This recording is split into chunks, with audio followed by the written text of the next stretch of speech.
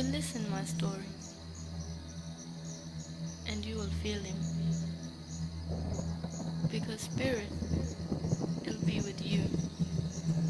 You cannot see but it'll be with you.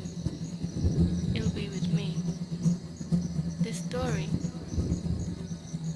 just listen